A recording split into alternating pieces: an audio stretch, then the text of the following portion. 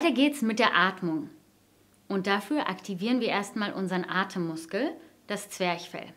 Wo ist denn das überhaupt? Das geht hier so an den Rippenbögen entlang, da ist es befestigt. Bei meinem Kollegen auch hier.